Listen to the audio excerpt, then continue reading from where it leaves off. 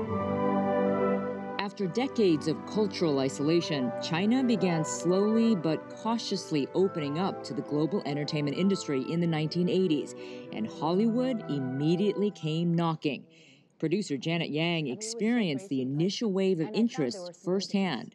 Back in the 80s, uh, after normalization of relations between U.S. and China, I was there in Shanghai with Steven Spielberg making Empire of the Sun. Bertolucci was in Beijing making Last Emperor. And these are two obviously very, very fine filmmakers making very, very fine films. So there was a feeling that this is the beginning of a whole new era. But the burgeoning relationship wasn't just about production access. Hollywood wanted to showcase its films in China and get a cut of the revenue. In 1994, China allowed 10 imported films a year. The very first was The Fugitive, starring Harrison Ford. Are you saying that I killed my wife?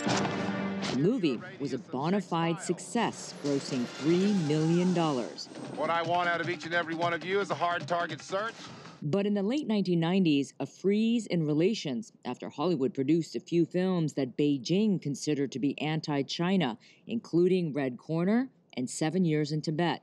Although the controversial movies were never shown in China, the punishment was severe. Hollywood was banned. At the time, the Chinese market was no bigger than Peru, really, in terms of the market, but it was very clear China could exercise uh, a lot of control. And Disney hired Henry Kissinger to solve their problems, and, and, and uh, eventually the ban was lifted. The relationship between China and Hollywood was revived and began to thrive.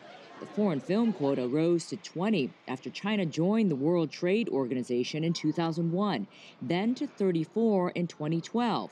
And then Chinese money started pouring into Hollywood. A lot of the, the fever about China was based on the fact that China had money. So every Tom, Dick, and Harry came out of the woodwork and here to look for money there. And every Tom, Dick, and Harry in China, by the way, was putting money into projects. So there were so many random uh, connections being made.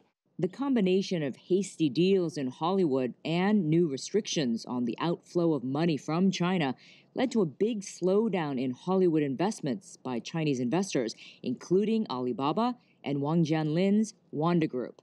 But that hasn't cooled Hollywood's enthusiasm for the Chinese market. Filmmakers and writers Bruce Cameron and Cathryn Michon's adventure film A Dog's Way Home just debuted in China. Expectations are high following the success of their 2017 movie A Dog's Purpose, which grossed nearly $90 million in China alone. Get it out! We have a partnership with Alibaba, and they did a magnificent job uh, marketing the movie, getting the movie out there so that yeah. people were aware of it. In um, uh, something like this, it's all about awareness. People have to know that the thing exists to yeah. buy it, to go to see it.